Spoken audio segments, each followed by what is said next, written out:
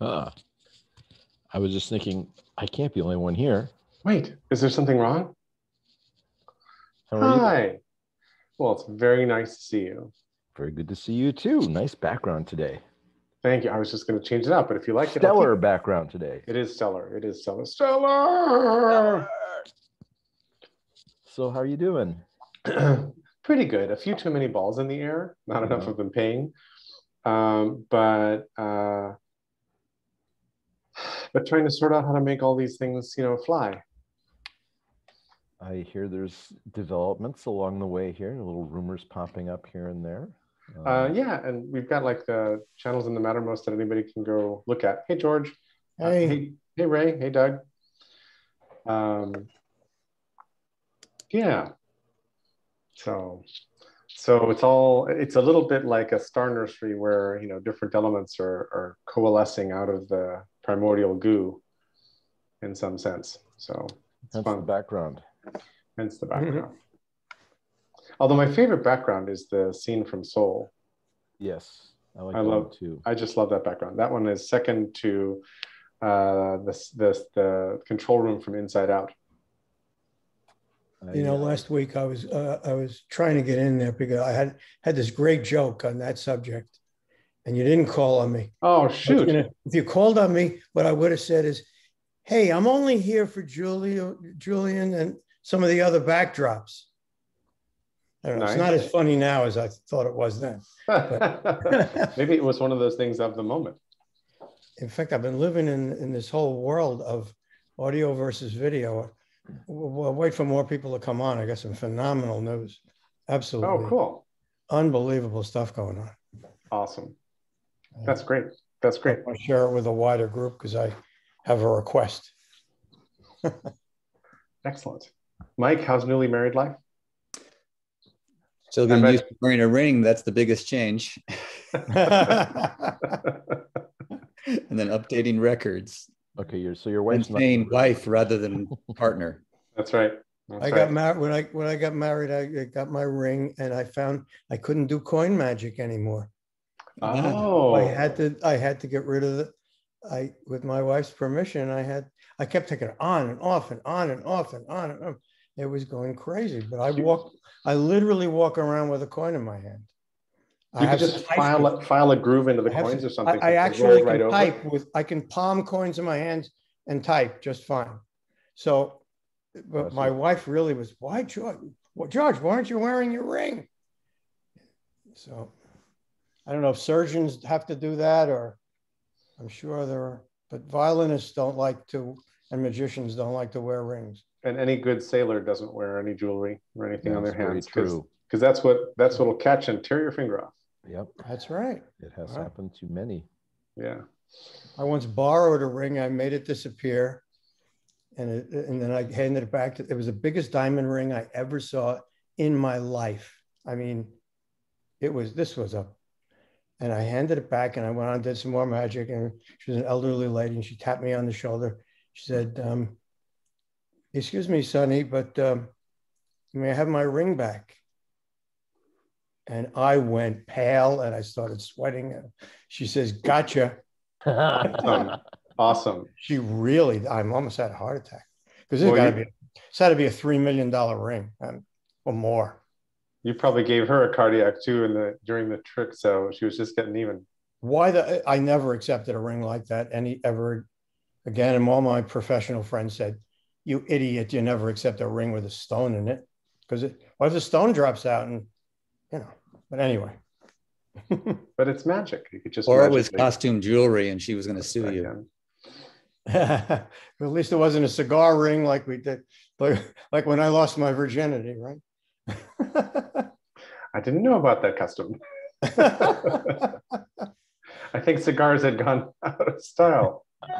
That's right. You know, I haven't seen anybody smoking a pipe in like 30, 20 years. Yes, my dad used to smoke a pipe. I used to smoke a pipe. My, used to yeah, smoke a pipe too. maybe I haven't for 40. friend of mine who smoked a pipe died of lung cancer. And about f- six months later, I thought, gee, you know, you haven't smoked a pipe. Oh, not since he died. I didn't consciously give it up. I didn't think about it. It just stopped. Mhm. Weird. weird survival strategy. That's how norms are made. Our our Yeah, exactly. are working, looking out for us. Exactly.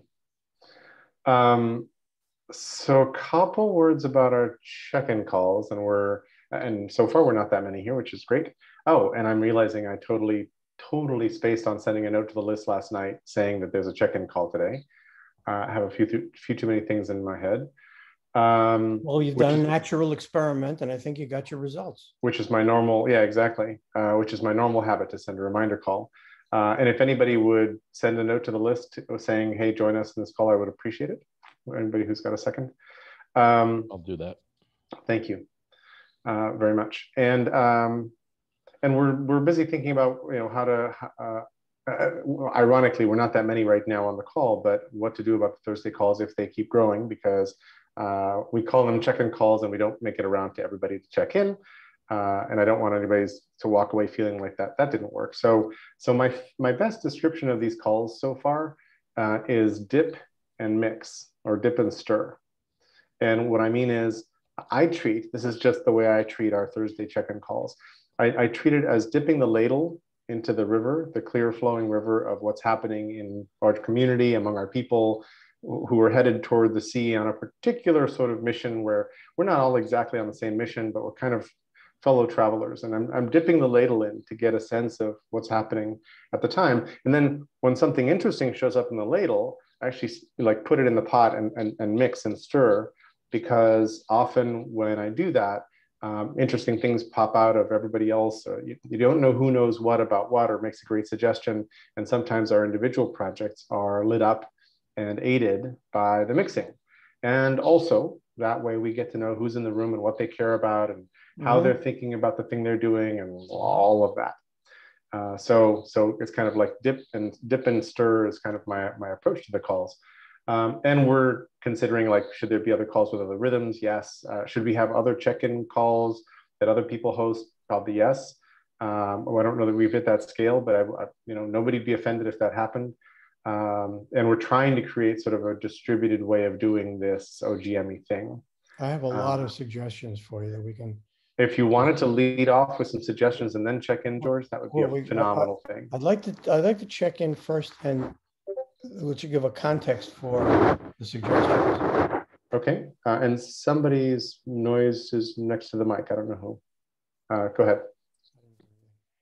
So the joke will work now. Uh, I'm only here for Doug and Julian's backgrounds. Julian's got a new background uh, every week apparently, and He's traveling the world. who could who could miss the check-in call? And this is a new background for Doug. Um, so uh, sorry, Judith, same old background for you, huh? It's convenient. is that real or is it a background? That's real. Ah, okay. Well, it's a real, That's it's a real, it's a real that's photo. why it doesn't change, right? It's a real photo, but it's not behind you at the moment, right? No, it's actually my bookcase downstairs at a different work area. Oh, okay, that's what I was doing. Exactly. So it's a blend of reality and not reality. Yes. Yeah, it's it's my bookcase, but it's not where I'm sitting right now. Mhm. All right. So this crazy thing happened to me this week. I was on on the we're going back and forth with one of the heavy hitters on um, Twitter Spaces, um, and uh, which is the new audio uh, version of Twitter. Um, they're hoping it's going to overtake Clubhouse, um, which is a cesspool um, at the moment, and and. To use the milder language. And uh, he dragged out of me, much to my surprise. This story has a crucial uh, reason for my telling it. He dragged out the, something I hadn't realized. He was at, he, he said, well, let's get together to talk, uh, but I prefer audio only, not a Zoom meeting. And I said, how come? And he said, well, the, he started playing back to me stuff I've been preaching for 30 or 40 years. Uh, and I said, wow, I've got some experience with that. He said, what's your experience? Well, he dragged out of me that I am probably, much to my surprise at the time, um, the world's most experienced audio group conference moderator, facilitator. What? Uh, I, yes, I, I, I invented the telephone focus group oh, and I've right. done close to 10,000 audio only group discussions of all kinds, focus groups, seminars, quest Q and A sessions, 15 different forms. Uh, I've trained hundreds of moderators. And so he dragged this out of me. You know, I never thought of it. I never did the mathematics, you know, about eight or nine focus groups a week um, for 30 years, not counting client meetings and debriefings and all kinds of other things. So anyway, he said, well, you know, you're so experienced. Why don't you come on to a, we'll set up a spaces. I didn't have the rights to use spaces yet. So he said, I'll set up a spaces and we'll invite people learn moderating from George. I said, okay, I don't know how much is in my head. It could be 15 minutes long, could be. So anyway, it's like riding a bicycle. All this stuff popped out of my head. Um, I we it was originally supposed to be an hour. I kept apologizing for going over a little bit. They kept asking me question after question after question. Finally, we said, look, we're overstaying our welcome. This is going on long, turning into a marathon. Those of you who leave, please leave uh, with our thanks for participating. But uh, I said, I'll answer questions as long as you want. So anyway, it went three hours. Um, they then admitted me into spaces after all of them went back to the spaces people, said, hey, you got to let George on and listen to what the hell he has to say. So I, through a maiden voyage birthday, I mean, a maiden voyage celebration a few days ago, about three days ago when I got let on, got let on to spaces on April Fool's Day appropriately. And um, I, so I, we ran another one that ran to three hours. Um, and now it's causing a gigantic stir. The people at, at Spaces and at Clubhouse are after me to transfer my expertise. So what I'm gonna, what I'm decided to do, I, I mean, I can't give away, I've got, my first telephone conference call was in 1971. It was an epiphany. I was studying for. Willing to bet the phone had a cord on it. Yes. Oh, yeah. It was barely above a tin can with a string. There was an operator there too, wasn't there? Hmm? There was an operator there too, wasn't there? Yes. Josie, get fact- me. Well, that's a, that's not just a joke. Uh, you couldn't set up a conference call without an operator. You called the conference call operator. She set up the conference call for you. She didn't know how to say hello to people. She didn't know how to welcome them. She didn't know anything. And despite all that, it's, it's a long story. I did a lot of destructive testing. But I say I was going for a PhD in psychology, and, and my specialty was group dynamics. So when I heard my first conference call, I said, Holy shit, this is unbelievable. Nobody knew. Nobody knew what a conference call was. People who had been on a conference call, they had all fallen in. Okay, I'm getting to the story. I'm sorry. Let, me let me let me stop. Uh, so anyway, my expertise is finally getting recognized. I know that I could make either Spaces or Clubhouse or whichever one wants to take my technologies and make them the winner because the quality of the discussions over Facebook and oh, oh, sorry over Spaces and Facebook and Instagram, all of them are developing audio services. Everyone, um, and they're not going to be able to survive without audio services. So the the uh, audio only conference. This has some implications for Jerry. We need to do some experiments. Audio only conferences are better than video conferences, and I can prove it. I know nobody believes me who hears that the first time.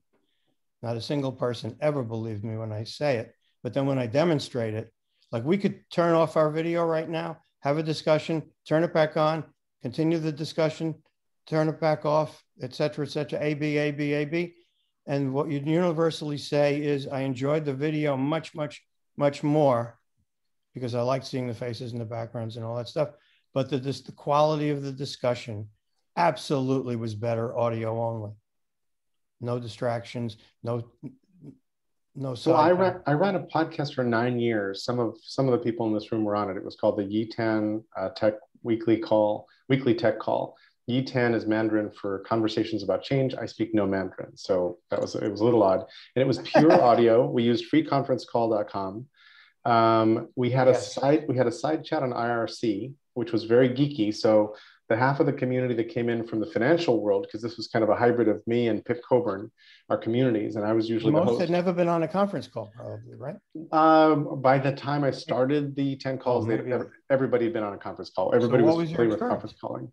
Um, I loved it. It was great. I deprecated it before podcasts got cool again because I was trying to stream it off, you know, to the podcast systems. Right. And and I find these calls richer.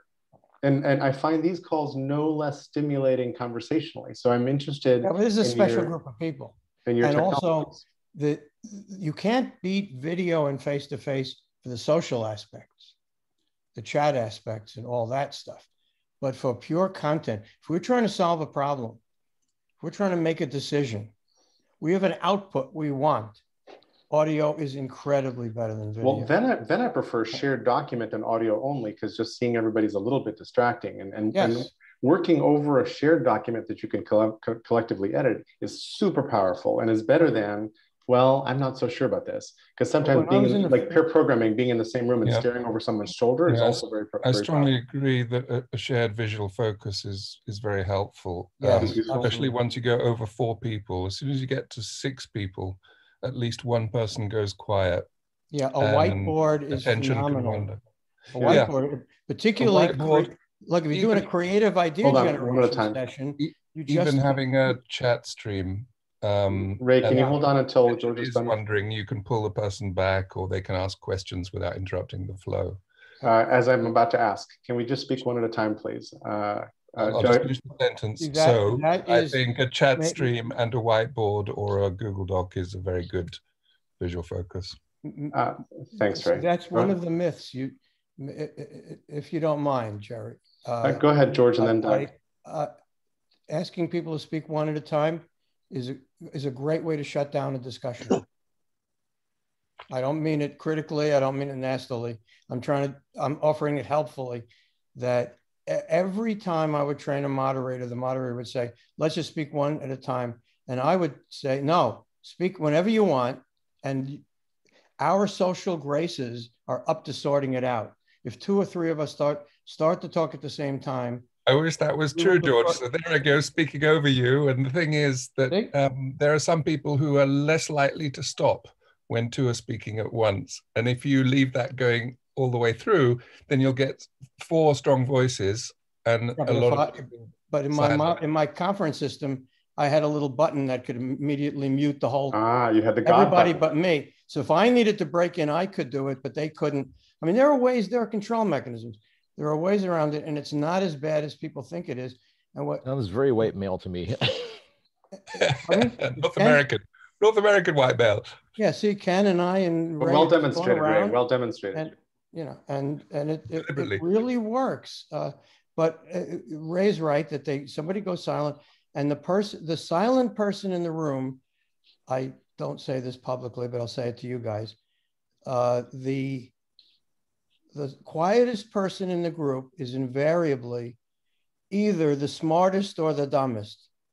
And you better find out damn fast because you may have the world's leading expert in something who's just holding back to see what other people are going to say and they don't want to dominate the discussion and they're being courteous ray was about to ray's got his mouth open so Maybe it's a good time for a round to hear from everyone briefly. um, which is which is our process on these calls, Ray. Um, I wanted to ask Doug had raised his hand, which is the protocol we typically use in these calls for the floor for the next person to speak in sequence, which is just our general protocol here, which usually works pretty hummingly. Uh, and, and, and George, I'll come back to it, but I'm extremely mindful of the quiet people on the call and often in groups. I will ask all the people who've spoken to step back and not speak for the next half hour or whatever it is, Right. make room for Yeah, the voices that haven't spoken. Yes. Also, I love having a chat channel because very often there's people who just are not verbal and they, they don't like speaking in front of a group, but they're perfectly happy to contribute a whole bunch on the chat. So the more kinds of media you can provide for the conversation, often it makes for voices that didn't have a chance to And that's the way to do it rather than call on people. Because you call on people, you embarrass them and you force them to talk and they may have nothing to say. And that's a very gentle way of doing it, the way you, Yeah. you know, step forward if you want, just out of courtesy. Want to hold back for a second, see if there's anybody else trying to get in here, you know, that kind of thing. Cool. Uh, But and, we, and I think we all have our facilitation. I mean, experienced facilitators have their bag of techniques and protocols and whatever. And I appreciate sort of uh, the experimentation. And, and going free for all here would work, but I'm afraid that there's a part of my job is to try to make sure that there isn't someone that overtakes most of our conversation here. So we do hear from a, a bunch of people. Um, and with that, let me switch to to try some on-off experiments with video, though. yeah, let me switch to. Doug for a second uh, so he can jump in. Okay, uh, one of the things that's important about the visuals, if you're having a serious conversation, is seeing people's faces begin to move as though they want to speak. And knowing that is very important, and you can't do it in an audio. That's um, not true. You, you hear them clearing their throat prior to speaking. But you don't know who it is, George. Yes, I do, because I have How? audio indicator lights that tell me who it was that cleared their throat. Oh, well, so you have God panel. So, so you had a God panel that let you mute selectively and know who was clearing their throat, which is unusual. Y- Yes, but they're building But it in. clearing now. their throat is not what most people do if they're getting ready to be in a conversation. It comes at the very last moment before they speak. And I'm busy watching for that. And when, when, when, for me, when Zoom chats get bigger than I can see in one glance, when we get two screens worth, Mhm. I then lose my ability to sort of watch the crowd and see who's leaning in and who's who's like wrinkling their, even furrowing their brow because it's like ah that's not working for me. And that to me is a cue that I might want to ping. I might want to ping that person and say, all right, all right, what's the fur- what's with the furrowed brow, Mike? Well, I Uh, was going to say that that's exactly how Skype and Zoom help. They indicate who's lost, who's got a question, or if somebody's really nodding vigorously but not speaking up, that's going to be really helpful to keep a, a vibrant debate going if you want to debate. And, and, and as a speaker, seeing somebody who looks confused really helps you remember, okay, I, I might have to dig into that a little deeper. so But I, I um, do a lot of non-audio, non-video calls just because with a team I know well, there's a rapport and there's a focus. Exactly, Yeah, but that's with a team I know well. I mean, it's exactly. So I'm going to um, take moderator's prerogative and say, A, thank you. Actually, we, we've never done any reflection on the OGM call about moderating and process and technology. We haven't, we've done very little talking about that. We just kind of go in and do that. So I, I appreciate that round. Uh, I do want to head us back into the normal check-in round. Uh, Eric was here only briefly, so I'd love to go to Eric and then Kevin and then Vincent. Hey everyone, nice to see your faces. Felt like connecting. Um, I had um, yeah, the, the, my weeks have been really challenging, uh, as I said before, but it's seem it's seeming to get better. I'm getting more focus and perspective, and I'm I'm working on what do I want? Do I want to engage in a social space? or do I want to work on my own research? Because I notice if I go into these kind of spaces like uh, Kiko Lab, OGM is more like everyone checks in and it's kind of okay, but still it can be intense on my brain. Um, and, and whenever I have exchanges with people who do similar things, like the co-coaching, it's like it's full on for me. And I need I, I notice I need a lot of time to digest uh, what I'm working on. And um, when I do that, I notice that what I've written before and the research that I've done until now, it does make sense. And for me, it's like, how do I deal with this? Like, I, I'd like some people to listen to me and really take time. And um, sometimes if it's socially awkward, it depends. Sometimes I'm really socially spot on. I don't know. It might, the quality of my discourse, certainly if it's uh, textual, textual email and stuff, is not always the best, but sometimes I can. But I, like the the whole scope of what I'm doing is so big, it's so complex, it's so layered that starting a conversation about it, it takes at least an hour or something before you're on a level that it actually really makes sense. And um, I'm trying to package it in, into a format like a white paper or but still it's like it's all these worlds that come together. It's it's like trying to summarize um, jerry's brain. That's like you can summarize what it kind of is as a concept but you can't con- summarize the contents of it. Um, so i'm constantly in that process and uh, trying to figure out like i it's been taking me weeks to buy a new phone that allows me to go on clubhouse but I, am holding it back as well because in this kind of spaces it's also full on i imagine and it's constantly high speed very much reactive reacting to each other. That's how i imagine it to be. I don't know how much deep listening space there is or how much digestion of what's really going on. They have I've a lot of features now that help help with that and they have a 15% club of people who are sight impaired and um, mm. blind, and uh, they're really, really helpful and supportive with it. You really ought to get a hold of them. Okay, yeah, I'll try it then. So I hope I can buy an iPhone soon. then, um, but uh, yeah, thanks. And but you have a good. There is a good quality of discussion if you look for it on yes. Clubhouse. Yes. Um, it, it's sort of like the web. Like once everybody discovered the intertubes and the web, a whole bunch of just crap showed up, but the good stuff didn't go away. It was just buried by a lot of crap. The um, floats to the top.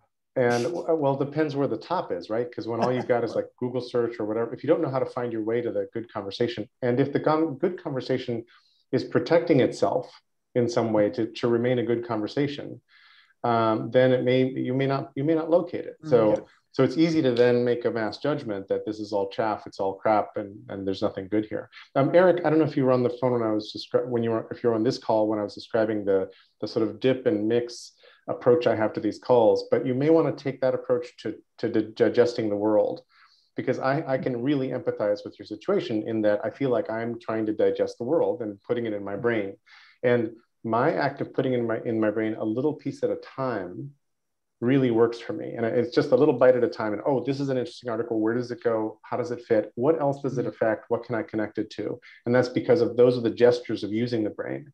But if you were to just take a little piece out and, and maybe it's little blog posts or, or whatever but try to describe this one paint stroke at a time that might actually help you. And i think judy has some advice as well. Go ahead judy.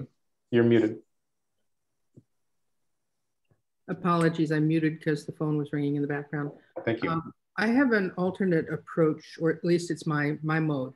And that is that I make notes of thought clusters, you know, just a topic. Mm -hmm.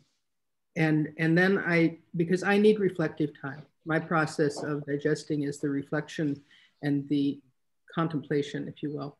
And so I make notes of topics and then I come back to that list and pick one randomly or whichever is speaking to me and, and just sit and reflect on it and, and develop my thoughts around that.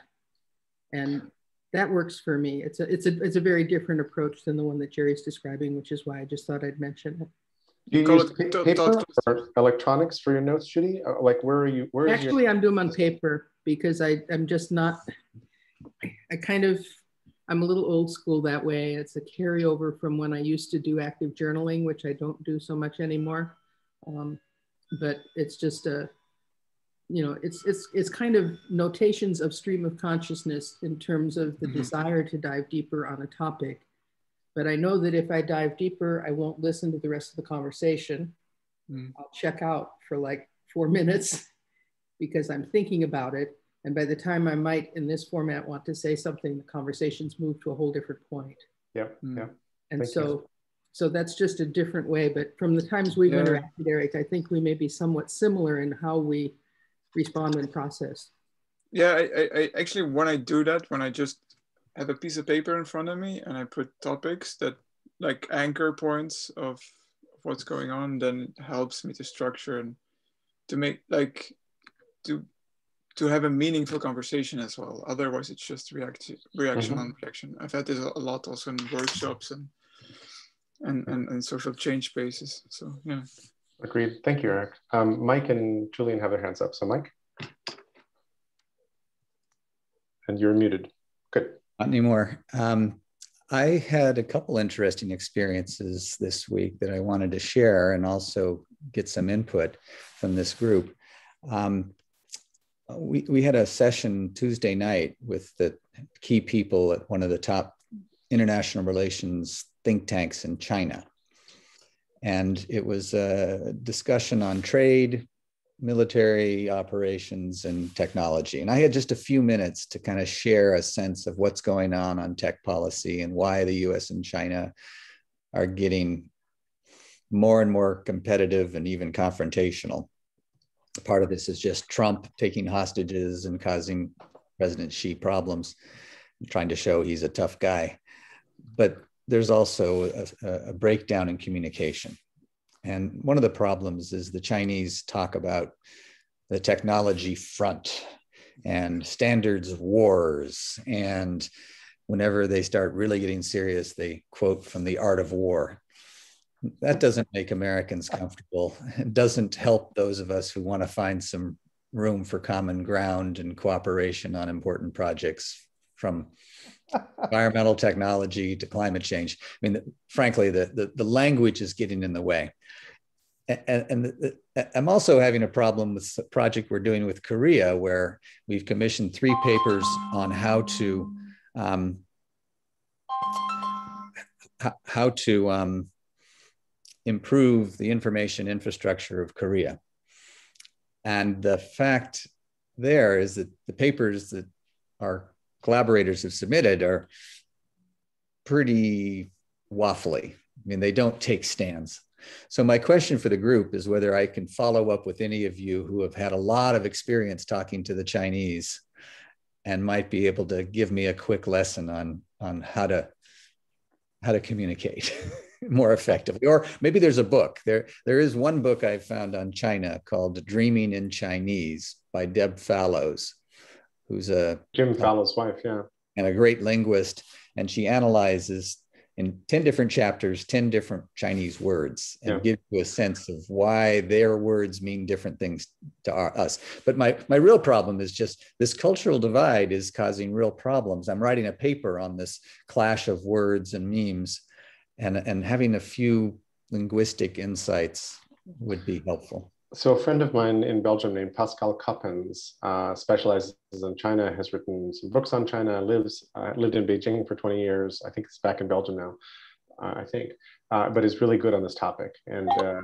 might be able to give you some good, good, advice. So I'll send an email intro uh, separately, Mike. Anybody else? Spelled C-U-P-P. See, I typed him in the Mattermost chat, C-O-P-P-E-N-S, Pascal, P-A-S-C-A-L, Coppens, C-O-P-P-E-N-S. Thank you. Um, anybody else with tips on? Mike, if you email I me. see that. Ken, I'll, I'll, go to you too. Uh, Mike, I've yeah, Mike, I, I have a colleague in Malaysia, Andrew Sheng, who's okay. doing a lot of writing uh, on Chinese American relations. I'll send you his email on the chat. I appreciate Ken, that. Ken, do you want to finish what you're saying? Yeah, Mike, if you email me, I put my uh, email in the chat here. Um, I have a friend who's done a lot of work. He's from Taiwan. He's done a lot of work in China. Mm-hmm. Um, he's the person who helped uh, get the World Cafe book translated into Chinese, and he was very insistent that it not be done in simplified characters. I didn't know what that meant, and I discovered when I went to Taiwan that when Mao came to power after he killed all the intellectuals, he removed the full character set and only taught a very simplified character set, which meant people couldn't actually express themselves with a lot of nuance. Mm-hmm. And there's still a simplified character set over there in China. So uh, wow. that was one important thing. The other thing that pops into my head is that, you know, in China, I'm not a Chinese expert, but I do know the concept of saving face. And yep. given the way that the US treated China in the last four years, seems to me the US needs to make some kind of overture to allow them to save face, you know, so that that's mm-hmm. got to be a large mood component of what's going on here. That's just from my very, you know, lay perspective over here.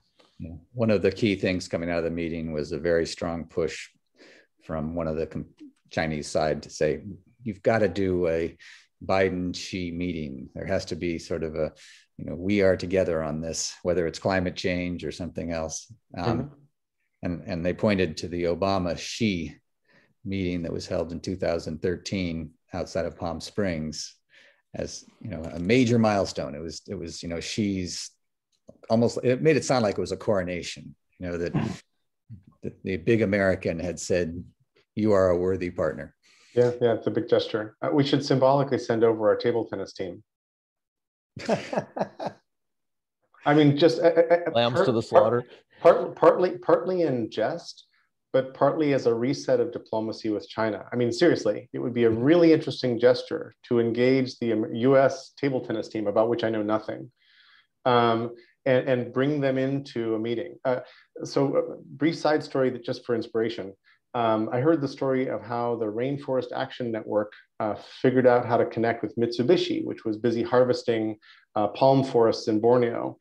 And the first couple meetings were really contentious. They were really kind of, no, nobody was getting anywhere. And at the third meeting, when they showed up, um, the head of the Rainforest Action Network, they exchanged uh, business cards uh, ceremonially again at the start of the meeting. And he flipped his card over and he had his card translated into, into Japanese. So everything on the back of his card was suited for the chairman of Mitsubishi. And the chairman of Mitsubishi handed his card over on recycled paper. And he had traveled to Borneo between the two meetings and had seen what was happening on the ground. And he then later resigned from Mitsubishi and joined Rainforest Action Network, and good things happened. Orangutans are still in trouble. But the, but the little symbolic gesture of the exchange of cards was momentous in their understanding that they had each stepped forward toward each other right and there's there's millions of negotiating stories like that um, and each of us probably has some from our own lives and all that. But but I think that sometimes sometimes small symbolic gestures like the table tennis team brought back because ping pong diplomacy was what cracked open China under Nixon, right? So so refer back to that and say we'd like to push the big red reset button and like clear the decks from what this Trump dude did for a while and forget the wolf warrior approach because it's not working with us. Yep right? If, if anybody's seen the movie Wolf Warrior and understands Wolf Warrior diplomacy, that's the, that is the, the mood that China is in right now. They're attacking, every, they're tackling everything in the world as if they're at war with it and that they're going to win. They're like superhero warriors. Anyway, um, and that's just from my amateur seat. I think Pascal can tell you a lot more stuff and I'll, I'll... Can I make one real quick suggestion? Please, go ahead, George. A, a, a meta suggestion, forgive me if it's, if, if you've done this before, it, it seems obvious, but wasn't to me, uh, a meta discussion with your colleagues about the cultural differences. We tend to do this. I notice your culture seems to do this. How do we work around that? How do we use that to our advantage? I'm a New York interrupter. When I do that, just say that to me. Say New York, and I'll shut up. You know, things like that. And I notice that you are reticent to disagree. You never disagree. So there's there is Mitsuki. Uh, uh Mitsubishi.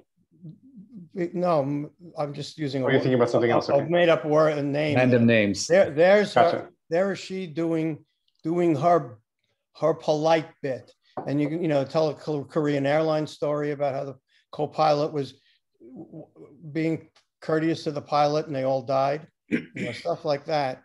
Um, and just an open discussion with the, and the funniest one I ever had was us with the British. Mm-hmm. All English speakers, obviously. That's a matter of debate. Yeah. What happened yeah. with the British?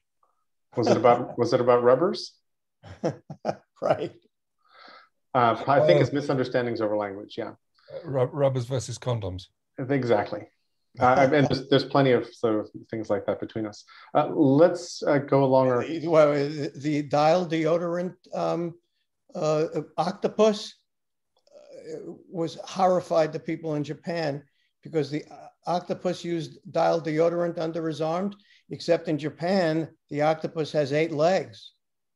Think about Ooh. that. Wildest cross cultural cultural story I ever heard. Not arms. Interesting. Um, Mr. Jones, and then uh, Vincent, and then uh, Michael. well, I have to say I enjoyed almost none of the arguments by facilitators about how to do things. I almost left. So that's just my my take on it. Uh, battling experts make me leave. Um, but that's that's again just my take. Uh, I've been working on this friends and family funding for uh, black and brown entrepreneurs who don't have a rich uncle, and I reported last week we completed our crowdfunding, and then we have some uh, foundation money teed up, and uh, we got asked by the county to uh, become part of their budget this week. Uh, and it was kind of a big deal because they have these little showcase funds, the one Buncombe fund, which is our county, uh, you know, uh, where they show some things as a one-time thing. But no, they said connect with their economic development folks. And so we're going to, uh, you know, our metric at this point will be how many sole proprietors and mom and pops become job creators and how many jobs and what's the growth in revenue and what's the growth in income and then some kind of stab at net profit. And then oddly enough, just like an hour after the county said, you know, yeah, just, just, you know, talk, talk to the economic development guy, not the little showcase guy, which is, you know, it means you're, you're part of the annual budget in a, in a way. And they love the fact that it's an evergreen fund, so they don't have to keep funding it. Uh, they can expand it, but they, we won't come back to them for money. Um, I got an email from a guy in the UK uh, from our SOCAP world, and he runs the largest family foundation there, and he's close to a guy at number 10. And uh, we're going to be sort of uh, adapting this methodology uh, for, in a thing to uh, that they might want to adapt, um, especially in the north of the country, in, in their Rust Belt. Uh, with a Phoenix fund, but it's it's a nobody's quite done this mechanism of uh, equity with revenue share for micro businesses who are not ready for debt. So anyway, it could be pretty interesting. It'll be, you know, zooming with Boris and his folks uh, as this thing works forward. So it's kind of cool, but it's it's it's a it's a little catalytic thing that that uh, unblocks, uh, you know, uh, a thing that is blocked that they didn't know how to do with. But it was really pretty odd that uh, you know uh, an hour after the county said make it part of the real budget they said you know uh, can you can you present to downing street? Like, that is awesome. That is yeah, awesome. I know. It's, it's kind of cool. I was, I was, pretty glad about it. Um, having kevin here talking about this reminds me that uh, over on mattermost and i'm looking at the mattermost calls channel right now as our as our chat here as our persistent chat um, that Kevin had posted uh, an article that was important to him in the food and agriculture channel, and then Pete said, "No, let's let's start a different channel for you." And then, uh, like, because there's nobody in the new channel on the new topic, nobody shows up and hears and responds to Kevin. So trying to figure out, and I think Kevin, it's the neighborhood economics channel. Is that the right one? You're muted. and, and, and okay, sorry. Yeah, no, it is not that. Uh, Pete set it up. It's called. Uh, um, and because the neighborhood economic ones, I thought was I thought was for you. Yeah, nobody showed up there either. But this is this is like economic justice and racial parity, which uh, I'm not even on because I'm in the wrong one. Okay, so yeah. um, if somebody will find that and post a chat uh, a link to that in the calls channel, I would appreciate it.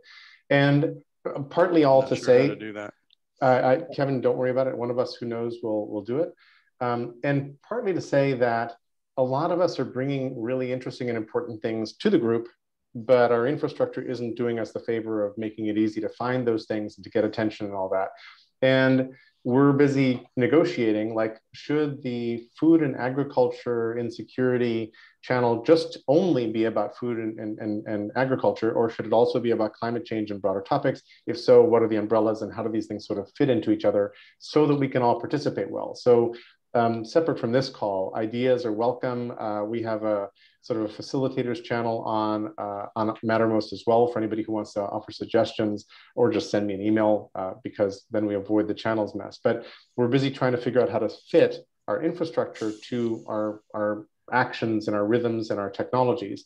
And then also, if you've posted something interesting, Michael, thank you very much. Uh, economic justice and racial parity is the name of the channel. Um, and also if, um, if you've posted something that's actually really like important to you, dear to your heart and important to what you're trying to get done, mention it here, like show up on Thursdays and say, hey, there's this really important thing. I could use some attention. Who would like to join this conversation? Please come join me. And that will help us figure out where to go and how to join you. So I just joined your channel and uh, we're on our way. Any other thoughts on sort of uh, that part? If not, we will go back to uh, Vincent, Mark, then I'm Michael. finding those channels, Jerry. Where are they? In so right, so right now our chat is in the calls channel on Mattermost, and then Mike and Michael just posted the last post on that channel is the new channel that Pete created for Kevin, uh, which ends in Judy. economic justice and racial parity. Does that, do you see that? Yeah, sorry, sorry, um, Jerry. Maybe just to jump in here. I- Please. In Mattermost, there are public channels and there are private channels, right? And there are direct messages. You see that on your sideboard, Yep. sideboard, Mhm. right? Um, if you hit the more button at the very bottom of the public channels, you will see a list of all of the public channels that are available to you, Uh, and then thank you can join from there. I've actually gotten there before, but I didn't realize exactly what it was. So thank you. it's just the more it's the more button and i think you know i think jerry what we have to do also you know is start to we're, we're starting to create pattern language. So a channel that has the bracket ogm in front of it are sort of these you know general ogm you know kind of spaces. Then we have we're starting to say use the bracket quest meaning this is something where we want to be using that channel not for just discussions, but for actually moving work forward against against a specific quest. And it should have it in the description what the quest is and and um, what we want to do with it and so forth. So I think I think as we get better at um, building channels, you know, labeling channels, helping people understand those channels, and even rationalizing. And I think I think um, channel divesting channels is probably going to be one of the most important tasks um, that we do. Totally agree. And Matt, it brings a huge smile on my face for you to be doing tech support on Mattermost in this call. It's like, yes. Um, and so thank you very much for that. Uh, and I had a second thought, but it's vanished from my head. So let's go back to the queue, which was Vincent, Mark, Michael. Hi everyone. Been uh, on too too many screens lately, doing a lot of computer work. So I'm happy to get outside when it's nice out. Um, been uh, making some really great progress on Catalyst and did a kind of demo uh, at the last Kiko Lab call on Monday, um, and hoping to kind of be able to start onboarding people onto the platform uh, within the next few weeks. The main kind of three components and features that I've been focusing on, which is it's actually uh, been nice to be able to focus and not have to do everything, and um, is basically a member project and call directory that makes it very easy for people to update their profile, project, or event. Um, and be able to and just kind of see what's going on at a, at a very high picture level inside their communities and also be able to see what's going on between different communities that are connected. Um, so that's like the very kind of basic of it. Um, so yeah, excited to share that more maybe next week. Um, also, I'm planning um, kind of a Gather Town event on April 17th. Right now, we're calling it the Changemakers Consortium. Just uh, um, wanted to kind of get a bunch of people together to f- have a focused conversation around projects and kind of networking around how to help each other on projects. So if anyone wants to um, sign up to kind of like do a one to five minute pitch on your your project um, and be able to kind of have an audience to uh, people who either want to work on things or um, or are sharing their own projects. Um, the link I'll post in the chat. It's um, lu.ma luma slash uh, the CC um, for the Changemakers Consortium. Um, and it's going to be at, um, we picked a time so that it could work for anyone in California that wants to be up at six in the morning and anyone in Australia that wants to stay up till midnight. So we picked uh, 8 a.m. to noon uh, Eastern on a Saturday. That's 5 a.m. on the so Pacific. yes, you have to be a really early bird in California. Sorry. All right. but if you want to come for the second half, we're kind of going to be doing uh, like pitches, networking, and then two hours later, the same thing. Sounds great.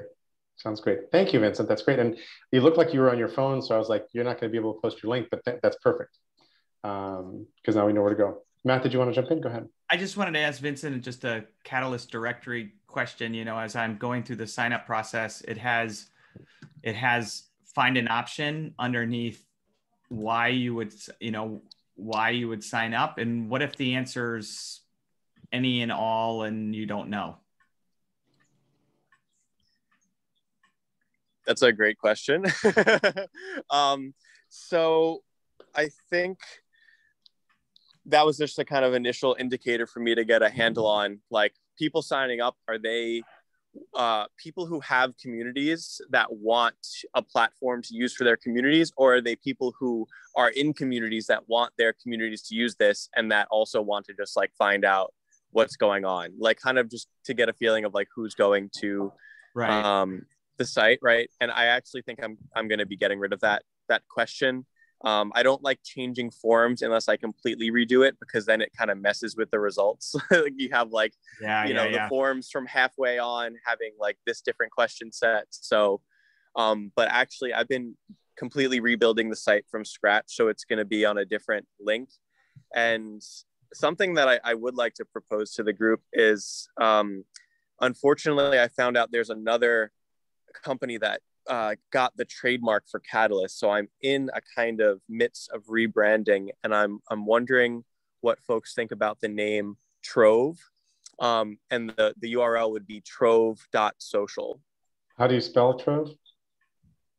T R O V E, Because I'm because as in a treasure trove. April and I are both advisors to a little company called TROV, I think .com, uh, which is in the microinsurance business. So the, that's really close, but uh, but I like Trove. it's with an e yes As in a treasure trove. Right. Yes. Mhm, yep You could also try lode, L O D E, like the mother lode. You've hit the mother lode. One I like Trove. I think it's a really nice, solid name from a branding perspective. It sits well on the tongue. Everyone could, you know, pronounce it, and it's a single syllable. So I think it's a good name. I also think it has multiple complexions. And I like that about it. Uh, there's already a couple TROV companies out there, not just the one that I mentioned. Um, so the, the namespace might be a little crowded. And that's just without the E. And Trove.com is is a power company. I just typed it into my browser. Yep. Um, Um, but you may be able to do Trove dot something else, Trove dot social, Trove dot network. Uh, who knows what low, uh, high level domain uh, would be really descriptive for what you're trying to do. Vincent, go ahead, Michael.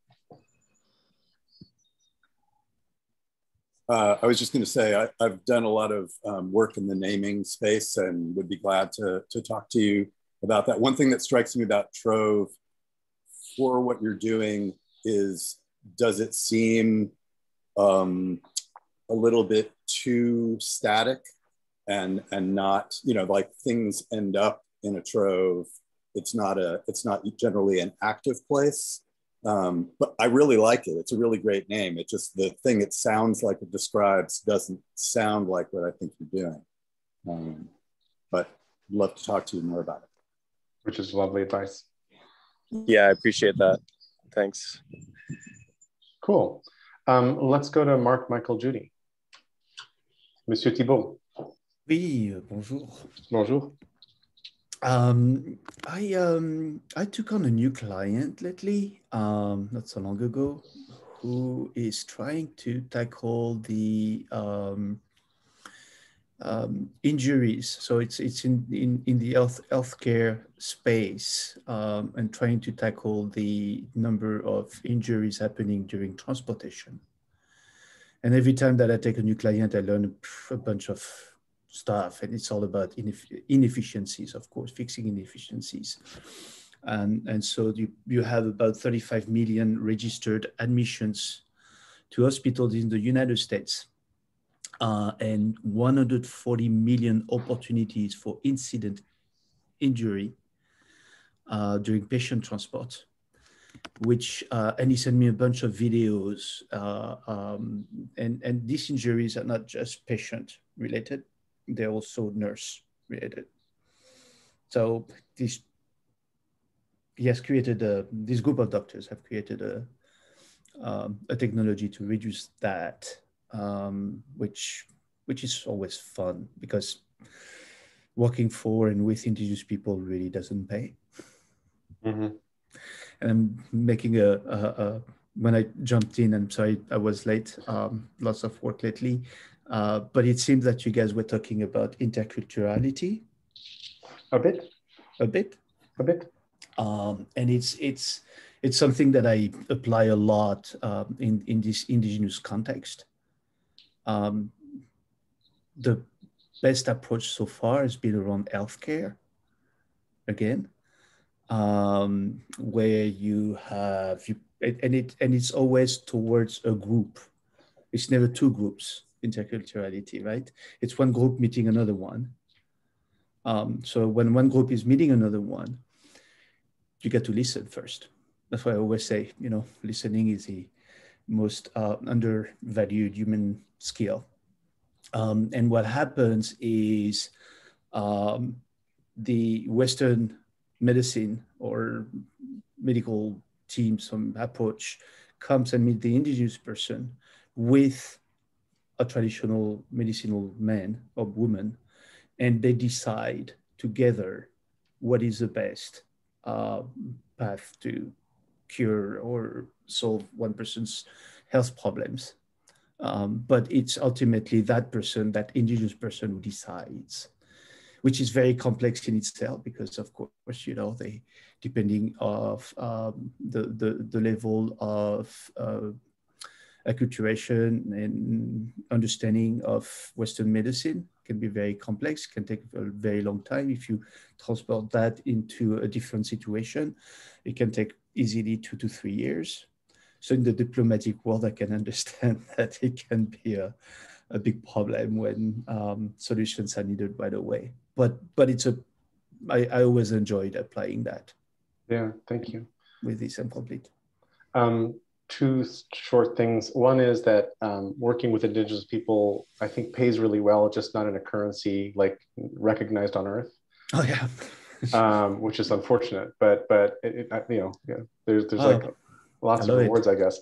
And then years ago at an event in Berlin, I met a guy who, an, an American expat who lived in Berlin, whose expertise was cross-cultural communications online. And his sweet spot at the time was US companies that had Indian development staffs and all of the cross-cultural misunderstandings that would happen uh, in that particular pairing. But but I was like, you have job security forever, dude. Because um, because the, the kinds of cross-cultural communication that are happening and the, the the thinness, the relative thinness of the medium and the opportunities for misunderstanding are so gigantic. So it's a really it's a really really interesting space. Mm-hmm. Love the space. Um, let's go, Michael, Judy, Matt, and then Ray.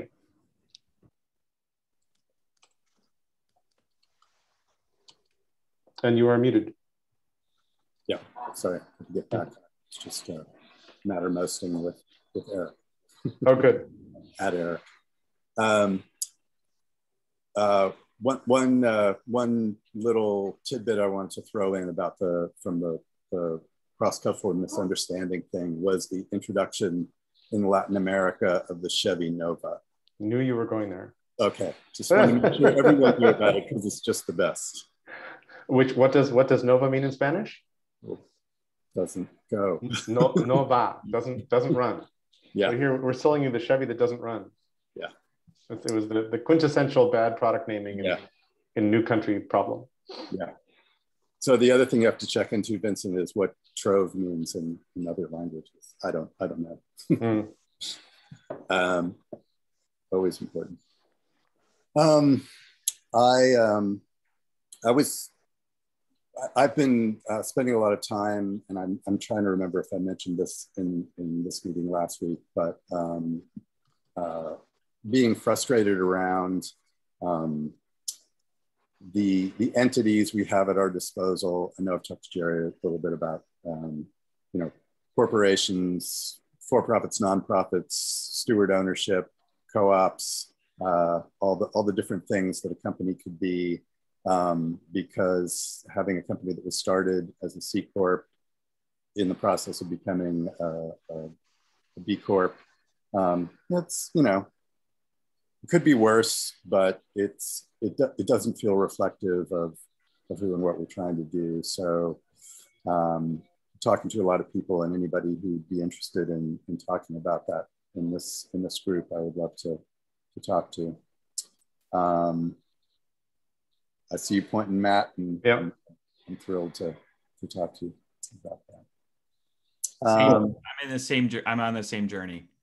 okay, all right. And, and there's a piece of due diligence uh, the stewards of OGM need to do, which is some kind of OGME mapping of the alternative business frameworks for as we move forward into some better millennium, we hope. Um, what are the alternatives and what are the trade-offs and what, you know, what are some good paths to choose uh, into that? Because we, we need better platforms for our work together. Platforms that are more mindful of, of the comments that we share, uh, of the intangibles that Mark is busy helping, uh, et cetera. And the other thing I wanted to, to bring up along that score is aside from the, the actual legalities, a seed I want to plant that um, came out of another conversation I was having at, uh, with some Mozilla folk um, is, you know, when you think of the structures of all organizational structures, be they nonprofits or whatever, they're sort of you know, a legal entity that by nature is going to be a pyramid. You know, there, there's there's somebody in charge, some entity in charge, whether it's an individual or not, um, and it's really hard to collaborate with like-minded organizations. I mean, you know, just just w- with all the good spirit behind it, I know what you guys are going through with, you know, memoranda of understanding with with Lionsberg and you know what are we and how does it work um, and the mechanics of just a circle of people who are doing related things as opposed to a triangle being brought together and you know and managing to assemble the right people. I, I know how to do that you know I, I feel like i can i can say oh this person seems like somebody who'd want to be part of this and this person but then how do you structure, especially in a nascent entity or a changing entity, you know, you've got to come up with stock option agreements and and you know some or or pay somebody some you know deserved high fee for their time per hour um, instead of figuring out some reciprocal way to be in a circle together and do each other good um, it, it's just a, it's such a frustration about the way that commercial world is structured. And there's lots of models that sort of have followed this out to the extreme. So there's uh, one entrepreneur who I can find uh, in my brain, but he decided to pay everybody seventy thousand dollars. The secretary makes seventy. Everybody gets seventy thousand dollars a year salary, uh, which which took people who were struggling to like. He didn't realize there were people that he was employing of his only 100, 150 employees or something like small company he didn't realize that people in his own company were struggling with making the rent and getting food and and whatever else. And so going to 70,000 immediately resolved those those well I'm, I'm overgeneralizing but really put fix that and then created other social tensions and uh, you know other kinds of things. A completely different model is Sen uh, Semco in Brazil. Uh, Ricardo Semler, if anybody's read any of his stuff, he, there's some beautiful interviews on YouTube about Ricardo Semler. Uh, and he's written a couple books that are really good. But in Semco, all of their books were transparent, and the staff set everybody's salaries and bonuses so that everybody knew what everybody else was making, which is a radical form of transparency. But they also knew all of the levers of the business, so they knew not to drain the business of profits to invest in the future. So, so complete transparency allowed them to create sort of fair balancing of what was happening. And that there's a uh, Semco was a deep trust-based uh, enterprise and uh, is really interesting for those kind of things. And those are two really different models. And there's a bunch of other models that are perking up uh, as we, you know, as we live and breathe right here. So it's a, it's a really interesting moment for figuring out what these new platforms are and which ones one might choose that feel fair and equitable for the group of people showing up to do some body of work together, right? And if and if it's also a loose community that has just people flowing in and out, how do you preserve the community while having a platform that lets people sort of make a living on it as well. That's that's the the, the a piece of what we're facing right now. Vincent, and then uh, uh, sorry, Ken, and then Vincent, because Ken had his hand up uh, quite a bit earlier.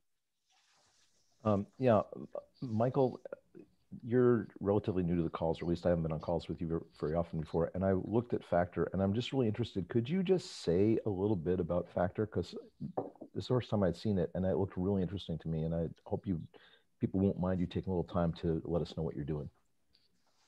Thank you for that, Ken. um, you know, this is something I should be better at than I am, but uh, I'll, I'll, give it a shot. I, I, would encourage people to, to take a look at the, at the landing page just because it, it gives you a, a fair idea. Um, it's, it's straddling a lot of areas, but it is um, an attempt to give people a place to gather, organize, and share the things that matter to them in the word I always use, which is an unfamiliar and uncomfortable word, word is an accretive way. You know, we live in a this this always on world, you know, this FOMO world where all this stuff is happening and you got to be there and you're you're inundated by it and yet trying to escape from it. Um, and when you think of the other extreme of a library, things have to be published to even make it there. So that's a selection process, and then they're organized and you can find them. And we're trying to create a way for people to see something that matters, gather it consciously, put it together. It can be something that you do alone. You know, it's certainly a single player mode activity, as well as doing a small group, as well as eventually be able to share with the public. Um, and skeletally, it's most similar to Pinterest, I would say, and you can have a private board and you know nobody else sees it, or work on some project with somebody, or you can look for other people uh, with interests akin to yours. Um, the other thing it is from a from a consumer point of view and an ethics point of view is it's member supported on a freemium model or a Dropbox, where if you use it a lot, and you feel good about it, paying for it to get extra features, you can, but you can use it for free and there's no advertising. And because of all of that, there's nothing in our, in no way is it in our interest for you to spend a lot of time on the platform. We don't benefit from that. We're not trying to distract you. We just want you to do what you came to do and get out. And you might spend hours on it, you might spend um, that's that's a little bit of a meandering uh, elevator pitch, but that's that's what factor is. Based on that, I wonder if there's maybe something that we in OGM could do on Factor to just help us get our dip our toes in the water, see what it's like, and maybe it would benefit both communities. And there's a there's a conversation Michael and I have barely cracked the door on, which is what might he do with Factor that would turn it into a piece of the mapping platform that we're talking about here? Uh, so I think that there's a there's an experiment there to be done, and having having a bunch of people in OGM who are familiar with Factor and using it, sort of power using it for for uh, keeping this kind of information would be really really cool. Would work. Thank and you, I'm Michael. wondering, and, and Michael, I, I, don't know if you've ever talked with um, Vincent uh, but he's using no code tools like Airtable to build out Catalyst and all that. That's, that's not that far from, from kind of your use, use models for Factor, although Factor, I think, doesn't have the power non, no code kind of front end of creating all these filters and, and whatever else. But, but there's some interesting, I think, uh, hybrid marriage there that's possible as well. Go ahead, sorry. Sure. I was just going to say, uh, you know, Peter had, had, had pointed me at Vincent and I just connected with him, and uh, I, I, hope to talk to you soon, fellow fellow Brooklynite. Sweet. Uh, oh, awesome! You're local. Cool. Yeah, I, I just sent you a message on LinkedIn, by the way. Cool. See, we're making all the connections. Yeah. yeah. Um, let's go to Judy, Matt, Ray. Oh, actually, could I um jump in real quick? I had my hand raised to respond oh, to the. I um, apologize. Um, yes, you did so um yeah one thing I, it's funny jerry i was also thinking about that um example i was going to pose the question to the group how would you feel if you were like the founder of a startup and like you know you're this like amazing board of advisor came in and they said you had to have you know $60000 salary and you had to have the same pay as everyone else in the company that joined from this point until like 100 people like how would you feel about that that's actually something i, I wanted to kind of get feedback on um, on on what people think about that uh, and i don't remember what happened to equity distributions in that company. So it could be that you know salary is equal, which is fine because cash flow, and that's what you're paying like rent They're- and mortgage from. They're Uh, but- booming. They, they're booming. They were in the news a month ago, and, and they have really, really done well. Well, part of what happened was their productivity shot through the roof. I mean, it's, it's all this conversation. Uh, it's can somebody find the name of the company? His name is Dave something. Uh, I I can pr- try to find it in my brain. I've got a bunch of links around it, um, but they but they did really well. So productivity skyrocketed. Their their revenues per employee tripled or something like that over over a couple of years, uh, et- et cetera. But but part of this might be that they got a whole bunch of press from having done this this HR kind of thing, right? So so how much of this is the the the stock the Barbra Streisand effect or or whatever else? Um, but it's super interesting. Um, go ahead, Matt. I mean, from a just personal experience basis, I mean, when we started Collective Next, we paid ourselves less than our employees. I mean, that was that was the risk, right? That was the way that it started, right? Um, and I think these economic relationships that you have with various people in your system can take a lot of different forms. Um, and I think the real, you know, the real question is how do we have um, multiple mental models and um, the dexterity to apply them based on um, differentiated needs and experiences, right? I have some employees that need a tremendous amount of stability. I need some employees that need lots of flexibility. I have some um, people who were employees who um, need more flexibility than employment, so they move to a kind of a network contractor relationship model. I have some contractors that are on a base amount of retainer plus additional money if the volume goes up. So I think, I think, I think the problem we have is we kind of get ourselves locked in single mental model views of how relationships work. But you know, I dated one girl where our relationship was very different than the one that I now have with my wife, thank God. But you know, you you you are always in these, you know, dyna- dynamic situations. So, Vincent, to answer the question, um, I think if it works for the community, then I would be totally fine with it.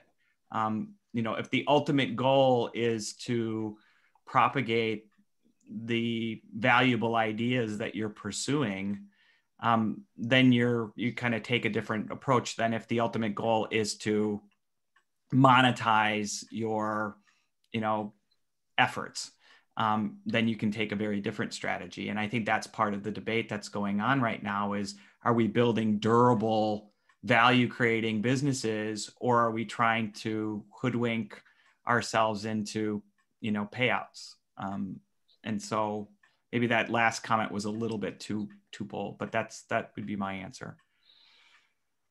Works for me. Um, so let's go to Judy, Matt, and Ray for check-ins. Yeah, I've just been um, continuing with practicing principles and observing ways that are effective to outreach to other groups that are not connected to the groups that I'm in.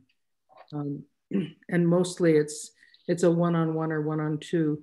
You know, I'd like to know more about your organization. Can we get together and chat about it as a way to sort of engage people with different perspectives so that we can have a more rich conversation and learn from one another. That's great. And uh, it's really interesting because uh, Klaus, who is not on today's call, connected several of us to a bunch of chemical engineers uh, uh, who were really gung ho on how to solve for climate change. And I was thinking, I was thinking that like somehow connecting them with you, uh, because I think you would all sort of come from a similar point of view in different ways.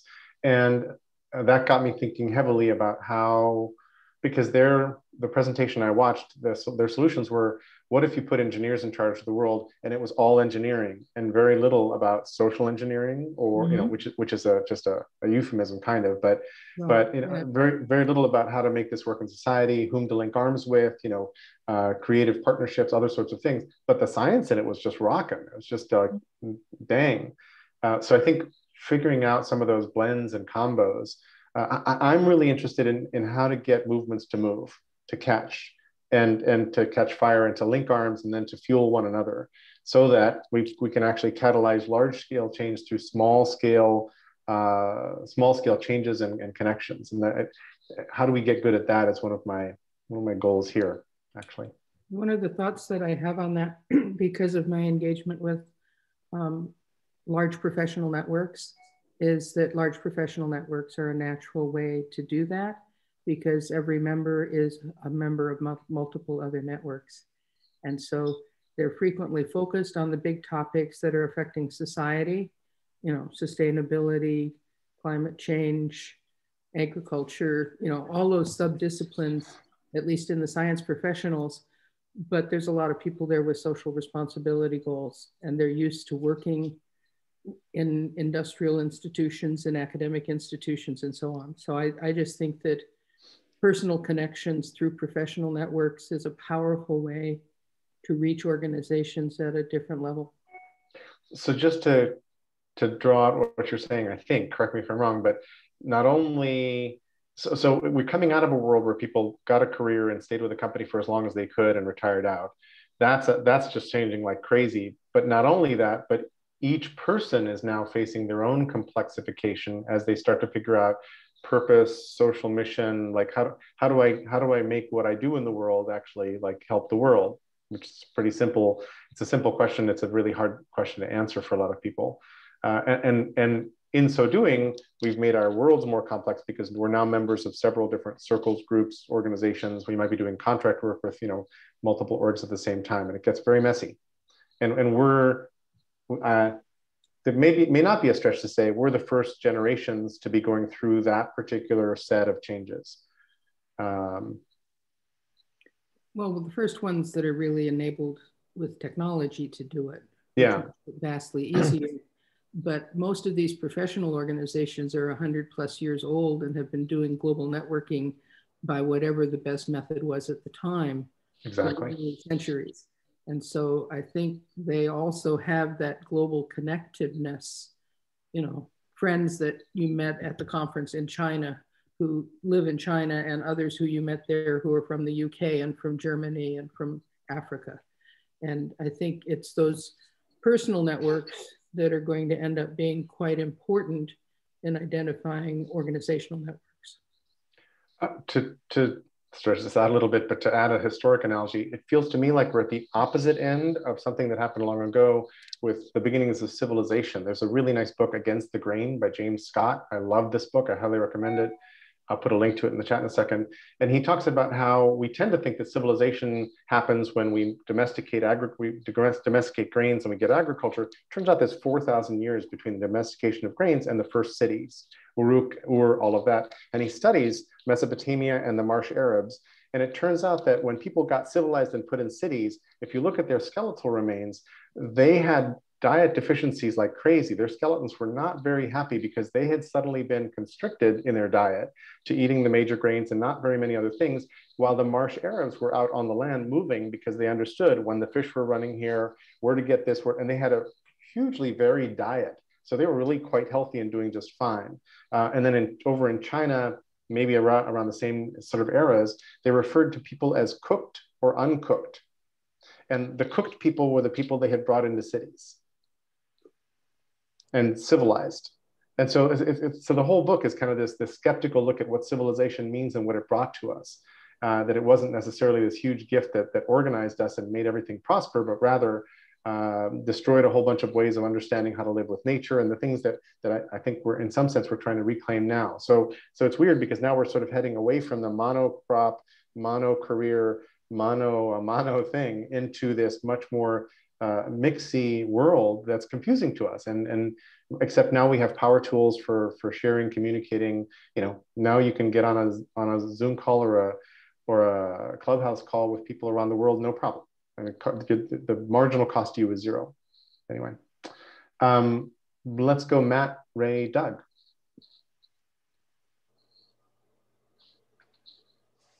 Uh, Matt, you're muted. Alas.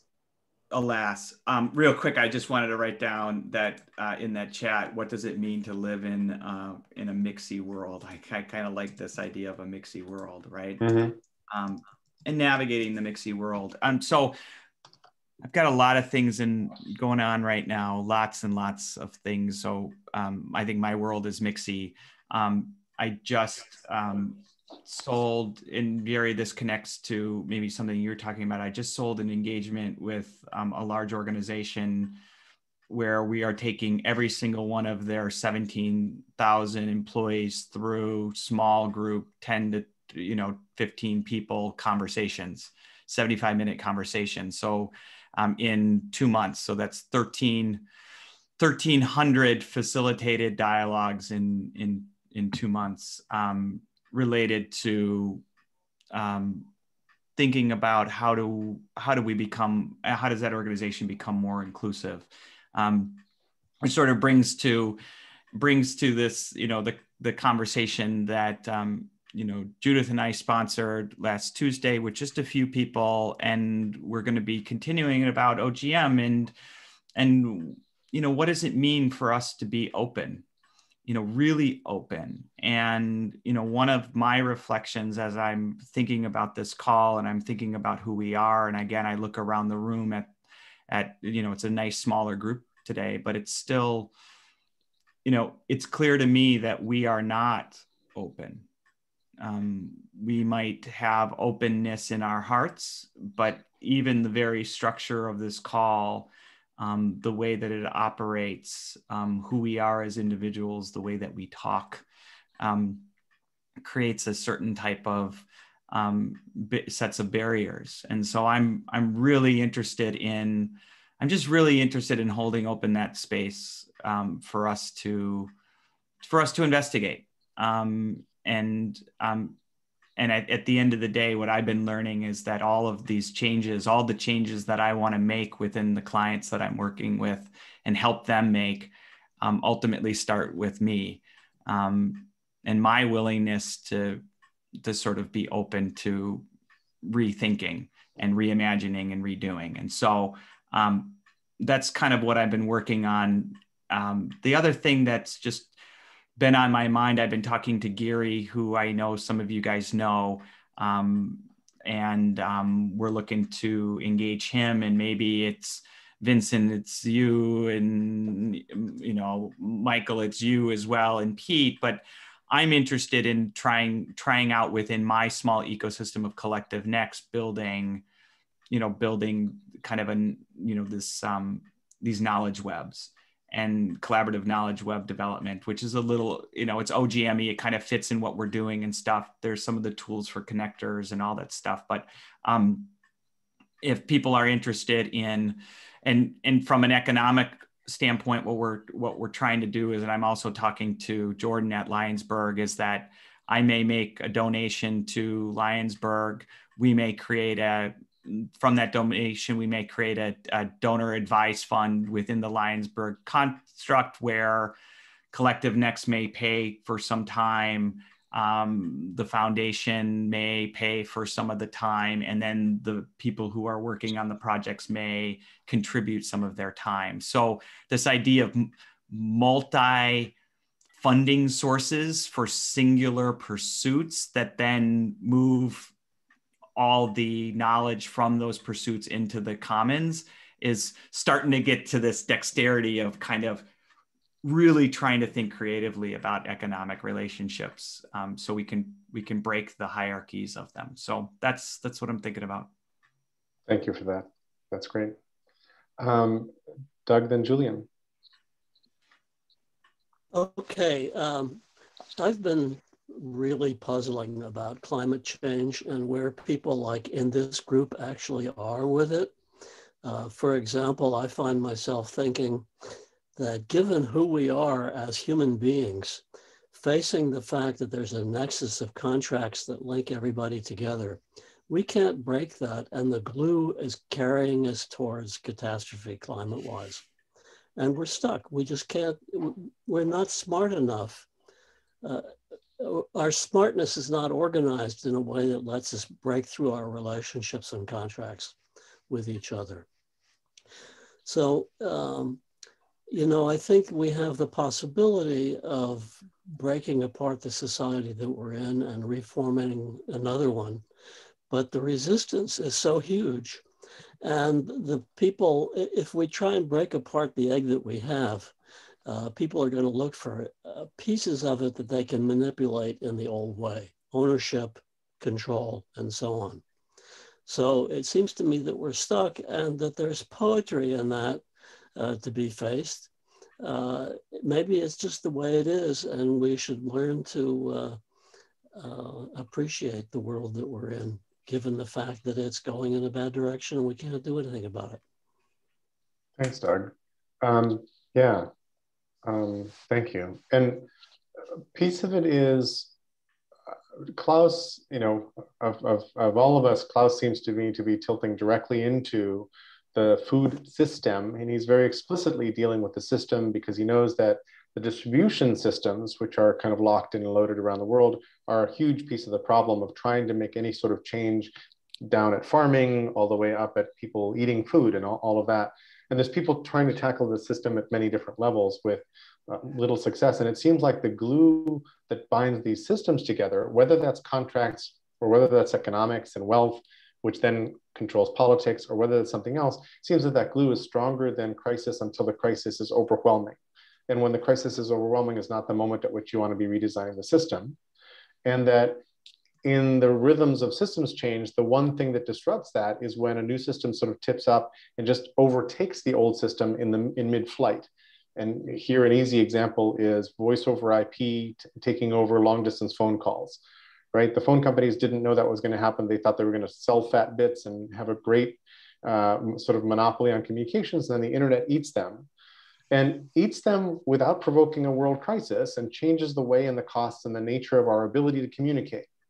That, that, was a, that was a gigantic shift of a very locked in bureaucracy. Go to the ITU, Go, go look at any national phone company and how much each government depended on the national phone company to make exorbitant profits to, to pass off as bribes to their, you know, uh, to their brothers and cronies. Um, and then look at what's happened since and, and the desperate attempt, and in some cases successful attempt to tamp down on the internet to stop internal dissent and all of that. So that, that's a change that's happened in our lifetimes very visibly um, of the scale that we're talking about. So, uh, Matt, you don't think so? No, I think I think the scale of that change is um, is you know much smaller. A, a, pimple on the butt of what we're talking about. A colorful mean, metaphor indeed. I mean, I, I just you know the thing that Doug brings up, which I I really want to honor, is that we made choices along the way as a civilization, as humanity, that have wired deep, deep, deep, deep into the way that we operate around ownership. And and and so those contracts to break are are they are as systemic as they come. And we we like to think, you know, this idea of um, you know, let's let's pilot, iterate, you know, test, learn, scale right? You know, we go through these things. It's we are not dealing with a problem that that can be can be done can be handled in that way right this is not about working on the fringes and then connecting connecting the dots it is it is at the very core of you know this is a this is this is catharsis at human scale all at the same time where there has to be breakdown. There has to be it it's like you know coal into diamonds. I mean it liq- it liquefies. And it's like how do we how do we engineer a moment where society liquefies and then restructures itself quickly enough that we can can can leap that abyss? And i think you know doug maybe the answer is we we wait. We wait until things start to really burn until creative destruction takes its course and then we're ready to rebuild. You know i i don't know. I've been wrestling with the same thing that you're wrestling with. It's it's it's um you know i think i can work the fringes and i think we can so so one strategy is wait for creative destruction. The other strategy is you create alternative reality and you invite people to that alternative reality and we run it differently where we run our lives together with other people that want to run their lives together outside of the bounds of you know the rest of the world. And then you and then you move people over into those things. I mean it's a it's because part of the challenge right now is we've run out of room for nation building you know the democratic experience that came from the united states was because there was land to be taken. There's no more land to be taken. There's no more and this is why elon musk wants to move to mars. You know he thinks mars is the opportunity to reinvent humanity not just to live but but a whole new society. Now the fear is that we poured over again industrial mindsets into that thing. I mean we are talking about the mental model of all mental models that has to change simultaneously and that's scary. I don't know. Um, so take, i hope you take this in the right spirit. You're sounding a lot like steve bannon who is an accelerationist who is like hey let's break the system because i want to i want to be the king who des, who designs the next system when we've crushed and destroyed all of this. And and yeah, one of and one of my narratives for for donald trump why donald trump was elected in the first place was that i think a lot of his followers were like the system is so screwed in a way that we would generally agree with that we need to hire a guy who's just going to come in with a wrecking ball and he tried pretty hard. And and and no, they, they, were... they hired they hired a guy that was basically an industrialist. I mean, so they weren't they weren't hiring someone to break it down. They were hiring somebody, you know, to capitalize on their fear and their, you know. Oh. So he really was. I mean, if you talk to my mom, he is he is a model of her father's generation, not a model of the future generation. So he he's not a tear it down in the way that you know people think he's a tear it down in in a different type of well i don't know that it's absolutely either way. I'd love to see a poll. If anybody knows of a poll that has sort of the segments of trump followers between uh, world's best businessman you know uh, apprentice uh, apprentice branded world's best businessman versus this dude could actually break the system enough that we could get into a new system. I'd love to know that spectrum. Mark do you have some info on that? Yeah yeah. I mean i, I have i have enough um, Republican friends um, that is that is you know kind of evenly split. Um, but but definitely the lower you go um, on on the social status, um, there you'll find people who really are upset with the system. They feel let down, um, and and that's and that's enough to get a guy elected. Or that was enough to get a guy elected. And I know Judith wanted to jump in too. So. Yeah on the just, map of it is what what should oh sorry.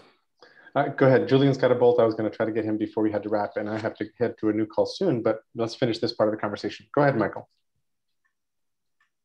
I was just going to say from a math point of view that the the polling that does show a balanced tipping number of trump voters who would have supported bernie.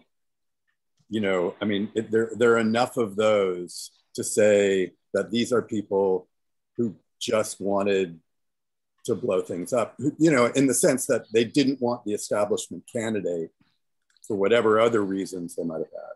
So, remember the flow chart that showed up early in the election cycle, the 20, 2015 election cycle? There was a flow chart that said, Is the system fucked up? And then the, the yes branch had Trump and Bernie, the no branch had everybody else. Right? And, and, everybody else was busy sort of and, and, and i realized a week after hillary lost that i had voted for a, a steward of the status quo. Like i realized that she was going to be really good for the status quo and that that was a reason why so many people had voted against her among many others like the demonization of the clintons and all that. But but and i don't think there's a blanket explanation but i'm, I'm interested in how big each of those segments is because what you do when you're building a weird coalition like this is you gather up all those segments and you appeal to all of them. So if you look back on the Apprentice series as branding, it's just genius. If you're going to run for president as the, the world's greatest, smartest billionaire businessman, you run a, a, a, reality show for a decade that gets great ratings. And man, you've convinced a whole tier of, of the American economy and voters that you're the world's best businessman. They, and they, they believe it. And that's different from tearing the system apart, but not incompatible with tearing the system apart in a weird, in a strange kind of way. And Yeah, the guy dis- and the guy who lives in a gold room with a gold toilet being somehow representative of the farmer out in the middle of the field who is nothing like that and, and feeling an alliance, that's a that's an act of alchemy and magic in, in my head. But it worked. Go ahead, Matt, and then Mark, and then we'll wrap the call. We move from Doug and Matt's check-in into Trump somehow. Can we Yes. let go of that narrative for a while? I'm trying to cleanse him out of my system here. Okay, good point. We've we've headed there. Uh, shall we wrap the I Trump just, I analysis? just, yeah, I, ju- I just want to say that that the- what, however we look at the situation, the framing is essential. The framing explains so much of. So when we say, "Oh, you know, there is a bunch of people who want to blow things up," it doesn't help. It just, it's just not true. Um, so you have Isn't to that part of framing? Well, we, we, we well, can have this yeah, conversation separately. yeah, yeah, but but I mean, I mean, you know, it, it's it's the same. I, I live the same in the Amazon, right? Um, and and it's eh, sometimes you you have to work and redefine how people see the problem to have a chance to fix it. Totally agree. Um, does anyone want to offer something that'll cleanse our cleanse our Yes, minds? I do. Yes, Ken, please. And, and I'm sorry Doug left because he he said two things. He said there's poetry in that, and he said that's the way it is. And so that made me grab this book called "That's the Way It Is" uh, or "The Way It Is," which is new and selected poems by my favorite poet William Stafford. And um, so the poem "The Way It Is" is very short. I think it it will wrap up here. Um, there's a thread you follow. It goes among things that change, but it doesn't change. People wonder about what you are pursuing.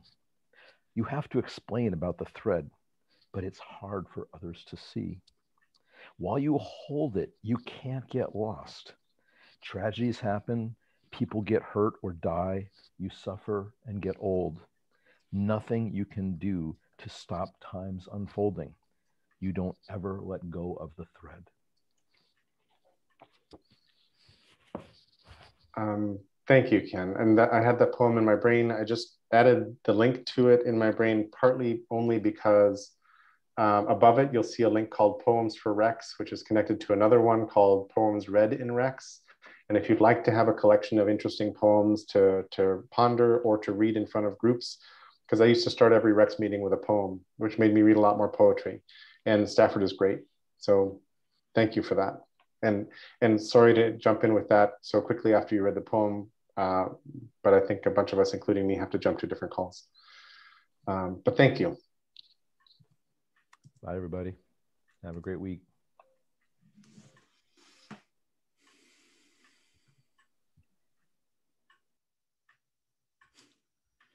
And there you have it. Here we are. Yeah, we, Uh, we'll get we'll get time. Like, um, thanks for your contact. I'll have my I'll have my assistant reach out and all that stuff. But I do feel like we're on we are circling around similar you know similar things. Yeah, and and I also um, in, in that in that circling, I'm I'm really I've I've put you know my my life savings into factor, um, and um, you know I want it to to be something, and I'm not you know to I think it, it was you who was saying to you know Vincent, you know, are you in this for the jackpot? Um, and that's not what you said, but you know, or are, are you in this because you really want this thing to exist and that's primary? And you know, everybody's somewhere on that spectrum. Um, I'm a lot more on the, you know, I really want this to exist and, and be a model for other things place. So I'm looking to involve other people and and uh, Yeah.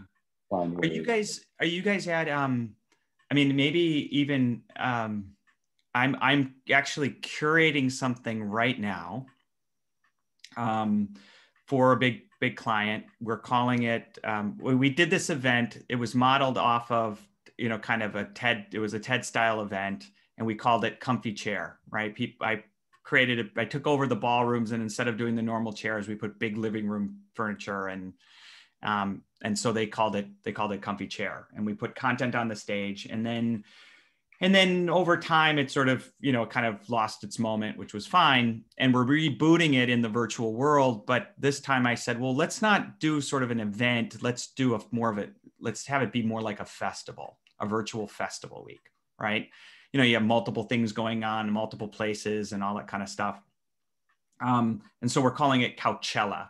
Um, it's sort of a nod to nod back to the comfy chair. I didn't do the branding on either one of these, but um, I, am going I'm going with it.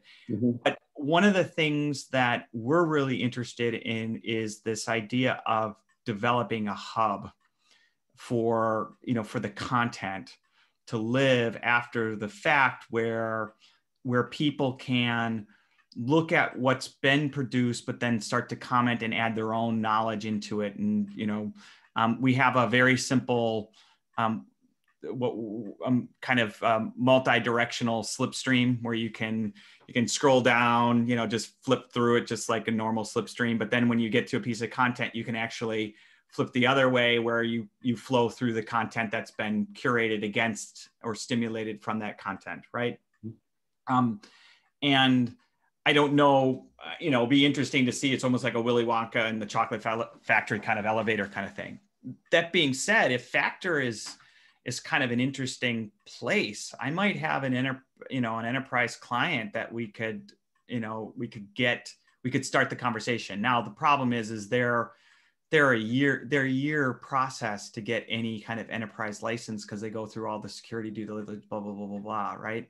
Yeah. But um, maybe a little bit of a demo of what you're building um, and understanding that. I also think my digital practice, um, we we build front end little microsites for people is is in in our you know to help one of our change engagements. We're not building a lot of back end, but I've been having conversations with.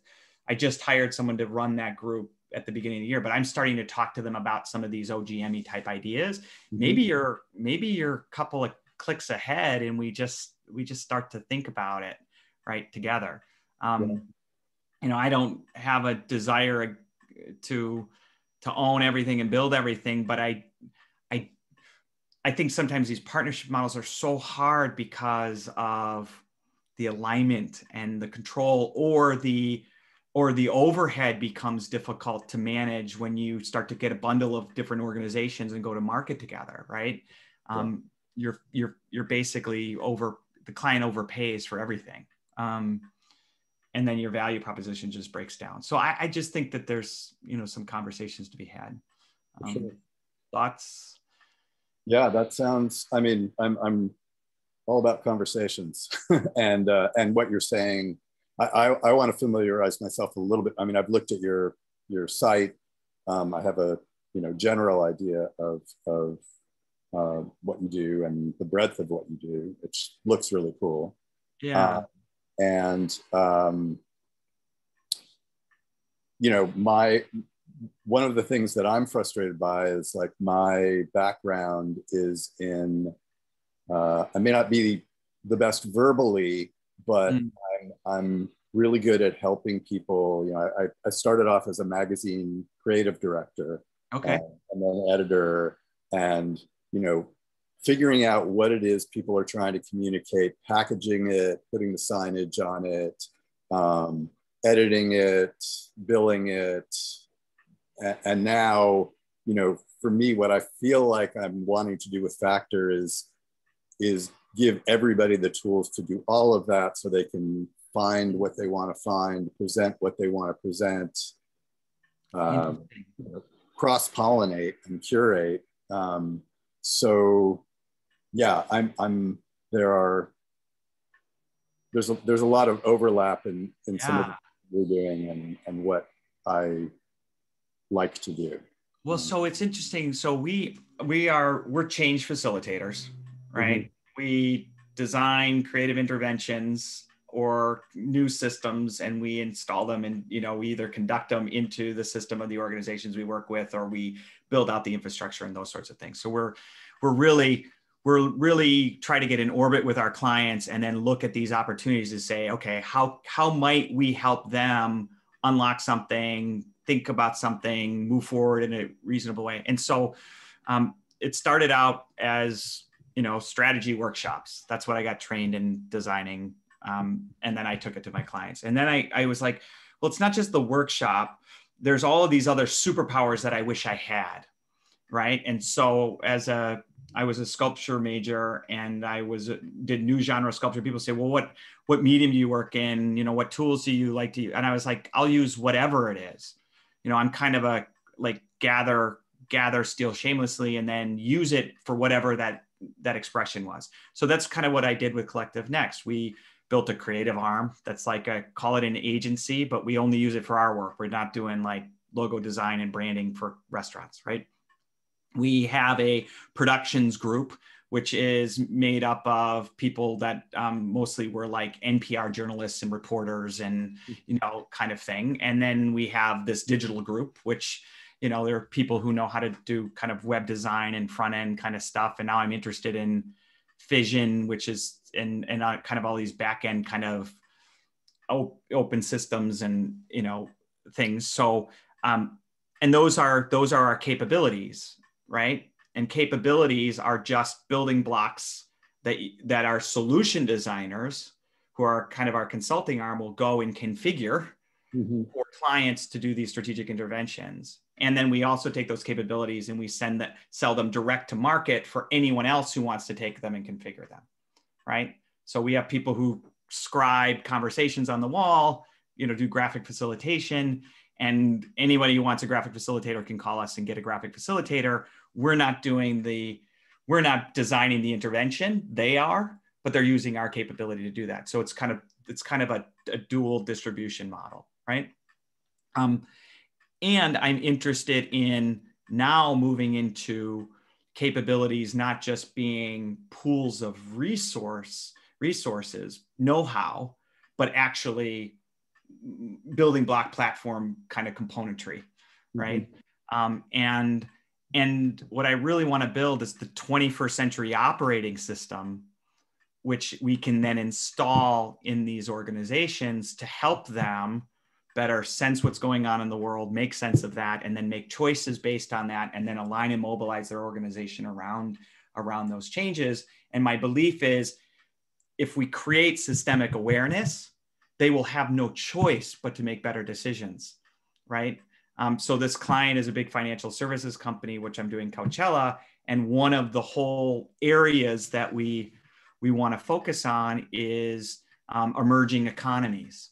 We want to introduce them to the fact that they think about the economy being this, but really there's there's feminist economies and there's decentralized economies and there's the sharing economy and you know, and sort of open up open up those conversations and by putting it into a provocative session, which we say, you know, these are the ideas that you you're you're going to re- reject out of hand, but be open minded to them just in case.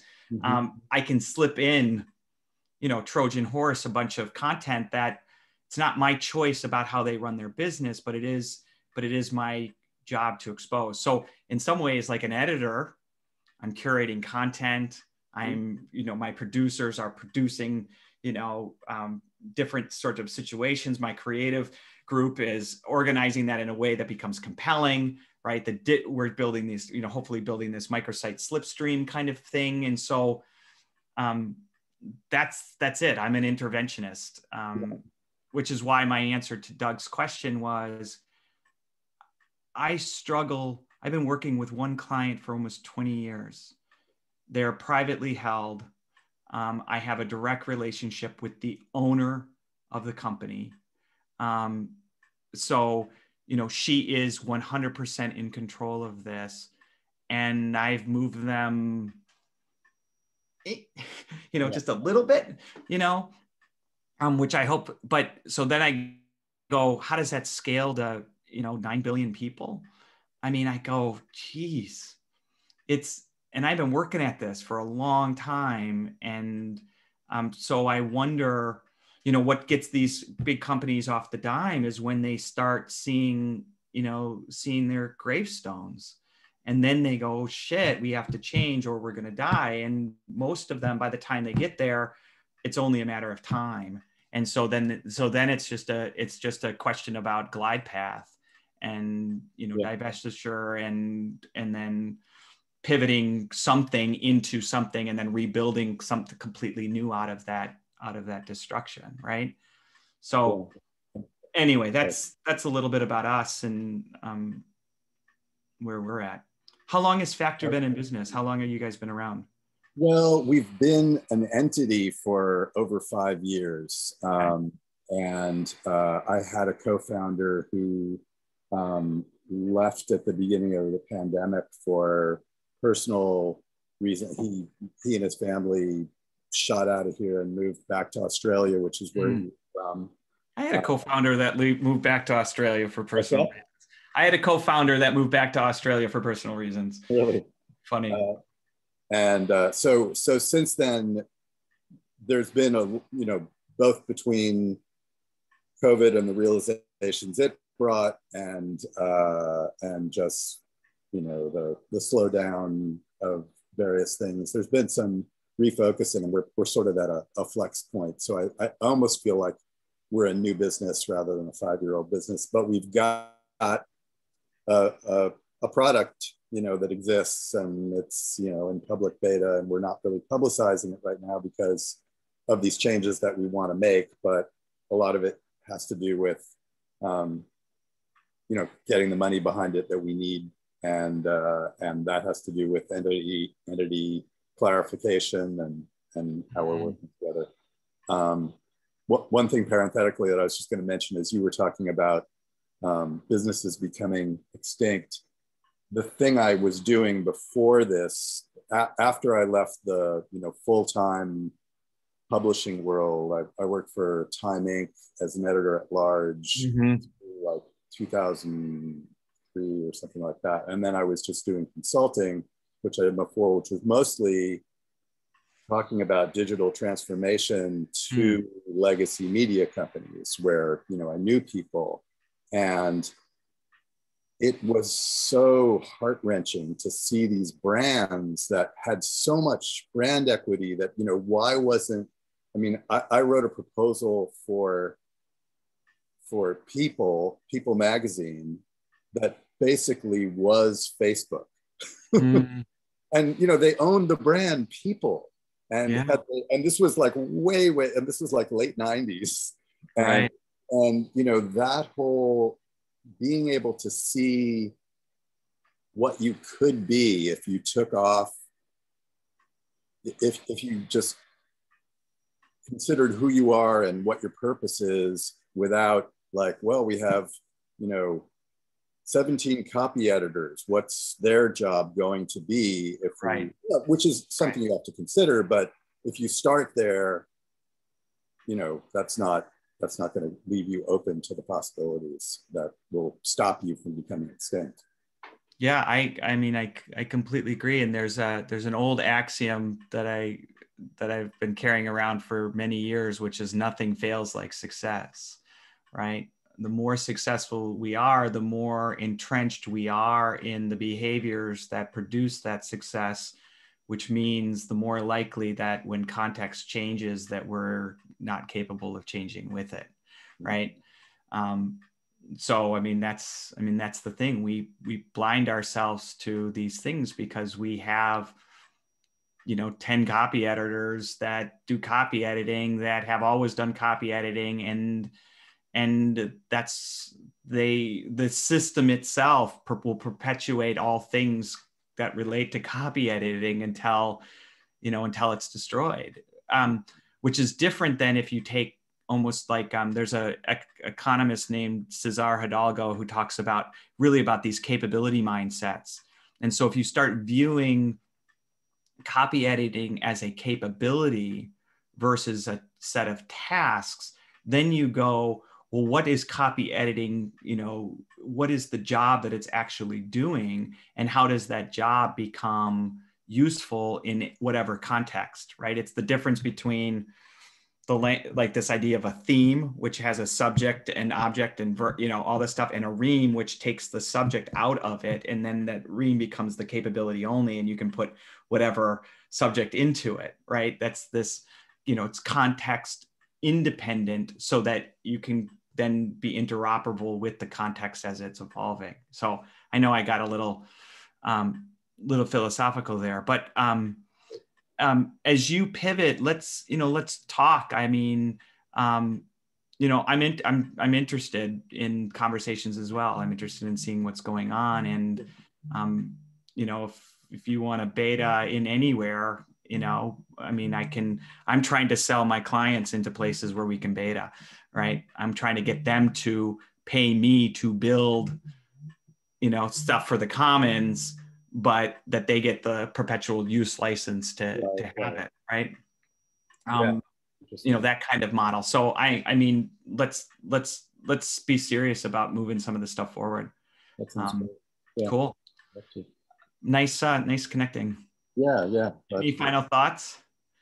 Um, just that I'd, I'd really like to continue the conversation. I just feel have, have felt you know a real rapport with you, um, which is you know, getting back to our other other conversation, easy because we're you know white guys in Brooklyn of a certain age and blah yeah, blah blah. right, like like but, like I'm a I'm a I'm living in Boston. You're living in Brooklyn, and um. Oh, Boston. Okay, yeah. sorry. So we're we're both you know I grew up in the Midwest though, so I bring some of that. But yeah.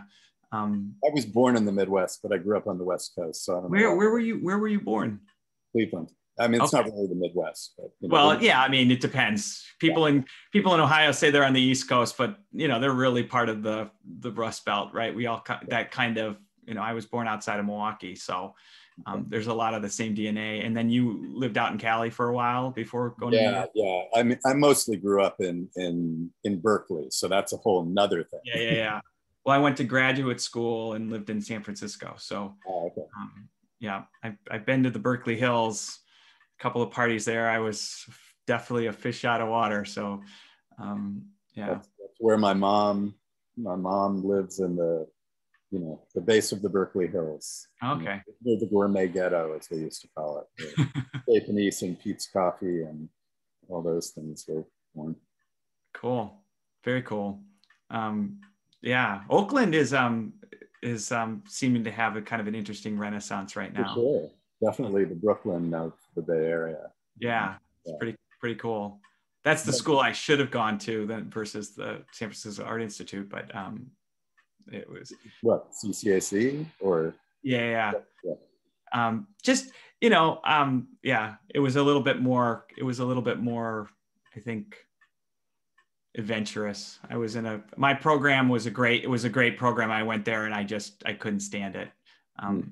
I couldn't. It was too I was like I came from a liberal arts school and went and even that was just a big shock going from um, liberal arts artist to to an art school only and the whole art world in the 90s and San Francisco in that time frame was like Facebook before Facebook where everybody wanted to become friends but nobody was friend would be your friend um, mm. you know what I'm saying it was about connecting and then saying you're my friend and yeah. um, so moving out east it's maybe more my more my feel. Um, yeah. So cool. Yeah. Um, well, it's nice connecting. I'll have um, Katya Green's her name, and I'll have her reach out, and we'll uh, we'll find some time to, you know, to keep talking. Sure, sounds good. All right, take All care. Right. Bye.